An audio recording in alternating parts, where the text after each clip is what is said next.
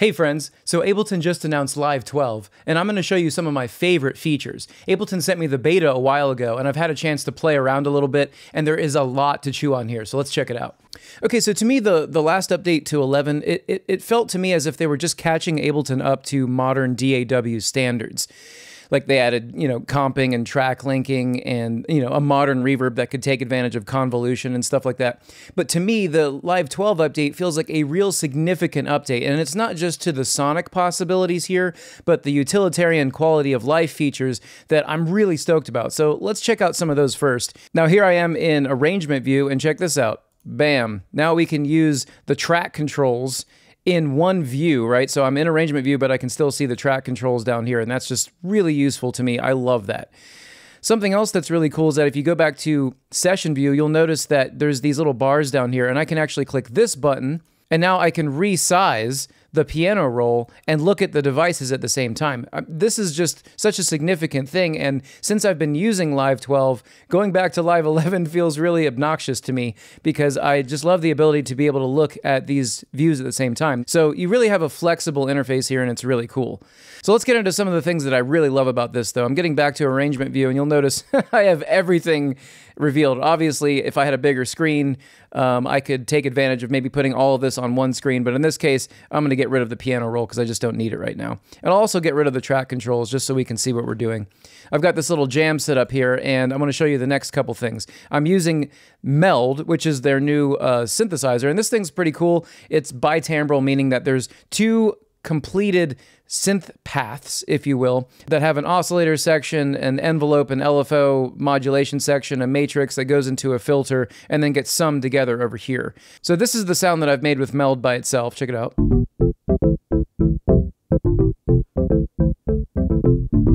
Not much to write home about, but what I'm really stoked about is this device here called Roar. Roar is insanely cool. I'm going to go ahead and describe it the way that I want to, and that's that I feel like it's a very creative saturation tool. You can use this to make some incredible sounds. Take a listen to what this Roar does. I'm going to go ahead and turn off this filter just for now, and you can check out what it's doing.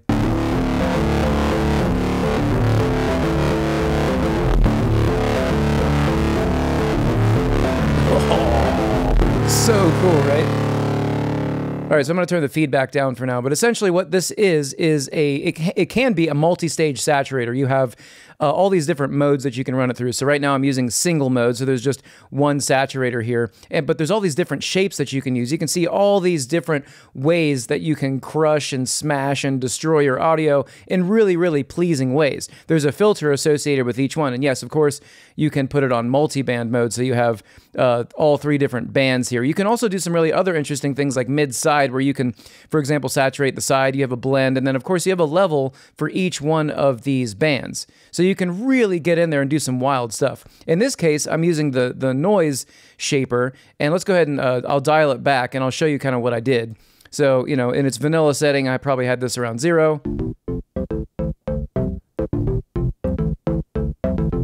And you can hear a really pleasing uh, saturation just happening just by adding a little bit of drive there, right? But each saturation stage, you can choose to bring more gain into it. So that's what I'm going to do here.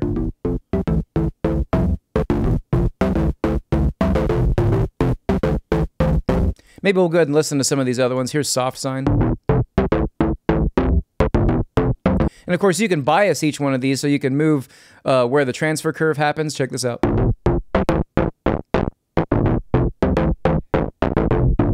So lots of destruction uh, potential there. Let's go ahead and listen to the tube preamp, which I've really enjoyed this one. But I'll go ahead and put it back on the noise injection.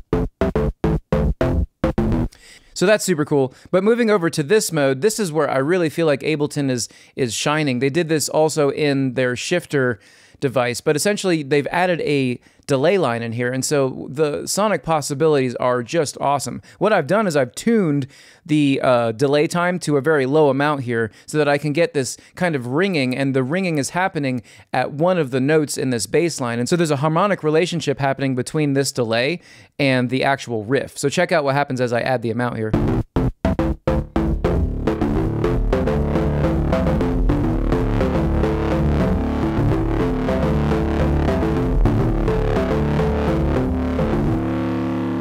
Just love it. And so you can tune this to different notes. Let's try a different note here.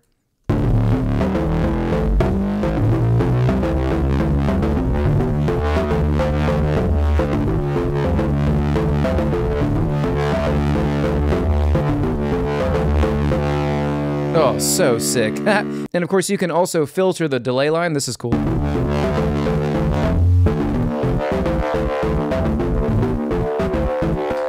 And of course, if you do this, you may need to retune the delay.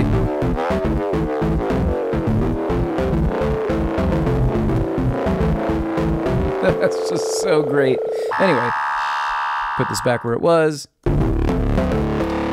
And so I'm just using a filter at the end of this to complete this sound, and I'm using a envelope MIDI, of course, to control the filter. Radical. Okay, so in the next track, these are the drums. Check this out. In my opinion, the kick drum is kind of obnoxious. It's got this like tail to it. Take a listen. I like the punchiness, but not so much the tail. Back in the day, the way that you would swap a sample out is you just click on this hot swap, and you can still, of course, use this feature. But something that's really amazing about Live 12 is they've implemented uh, a sort of machine learning algorithm that can listen to all the samples in your sample library and choose what they're calling similar sounds. So, sounds that have similar sonic profiles to them, such as maybe how long they last or the frequency content in them. And the way that you do that is you just right click on the sample and you choose Show Similar Files. And now if I scroll up to the top, we can see this little line start to appear. And if I get all the way to the top, this is what Ableton has determined some of these other samples that I have that sound similar to this first one, so we can listen to them. So these two kicks are great. They're both very punchy, and they don't have that really annoying tail on them, right? So I'll just go ahead and hit enter on this one. Bam, and it's put into the, the rack, and now I can go ahead and listen to this. Perfect, right? Sounds a lot better. Let's go ahead and add that with the bass. Cool. So listening to the drums, I also have an instance of Roar here, and I'm going to make a video on all of the features in Ableton 12 and focus on each one of them individually. But I have to admit that I am the most stoked about Roar. It's incredible. It's so much fun. So check this out. I synced the delay. You can actually sync the delay to different delay times. And in this case, I, I chose a 16th. So check out what happens now when I start to add this delay.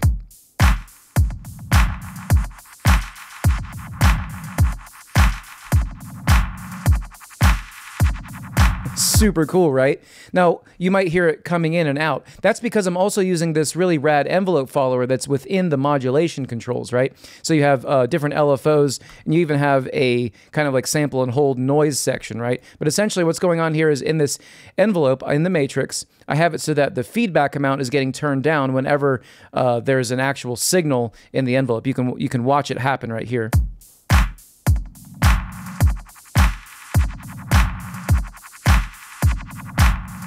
Just so cool, right? so yeah, I absolutely love Roar. All right, so looking at this last track here, let's take a listen to what's going on here. This is just Meld in its Fold FM voice.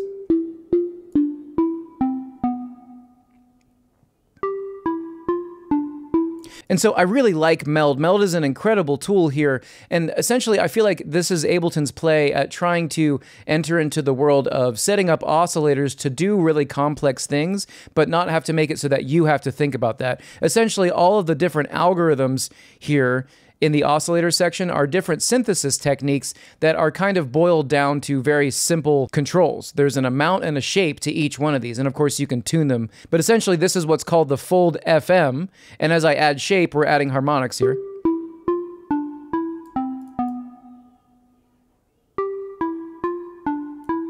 Now, of course, this is a pretty basic sound, and I'm going to make a video on Meld. I'm going to make a detailed video on Roar. I'm going to make a detailed video on everything in 12. So make sure that you subscribe to see those videos as they come out. But essentially, I'm using Meld here just as this like little basic sound.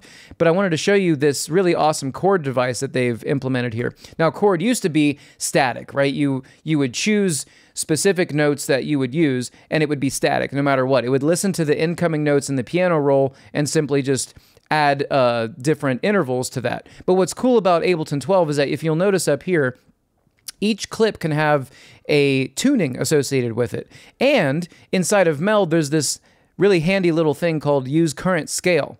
So because I'm in C major and I'm using the scale feature here, if I turn on chord, essentially this is going to shift the intervals up and down in this chord to the different notes that are associated in this chord. So check this out.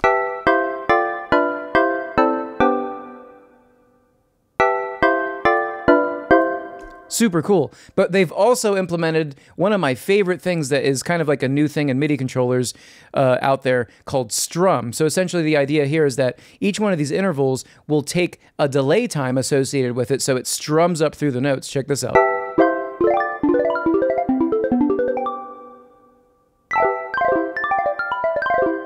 So let's go ahead and listen to this in context.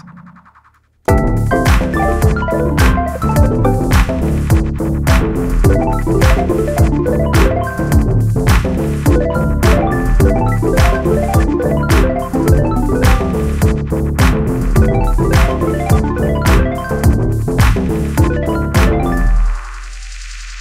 super cool, right? It's so much fun to use. Uh, you can also learn different chords. If you play chords, it'll actually learn those chords and you can recall them, which I think is just so super useful. Now let's look at one other aspect of Live 12 that I really feel like is worth taking a look at, and that is, of course, the new piano roll. This is just incredible. They decided to modernize the piano roll like you wouldn't believe. There are so many different fun things that you can do here. So one thing, if we're looking at just the pitch and time page, you can select different amounts of notes here, and you can do things such as invert them, right? So now we have... Or the other way.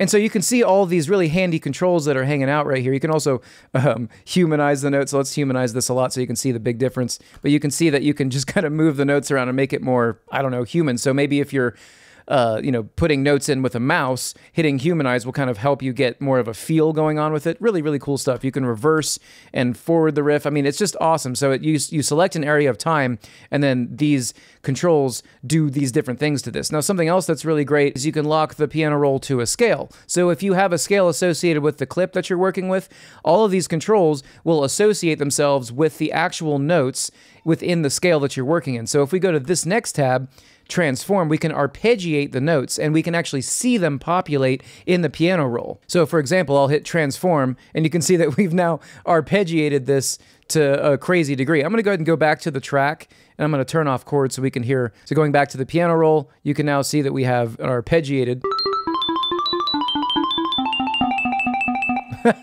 How great is that? So I'll undo that. But yeah, essentially you have an ar arpeggiator that does what a normal arpeggiator device does, but it applies it to the piano roll instantly. So yeah, there's all these different ways to transform and work with the different notes inside of your clip. It's truly awesome. I really like the ornament feature where you can add like grace notes to the beginning of things. This is pretty cool. You can see now we have right? Like we're kind of going down to the note same note or a lower note.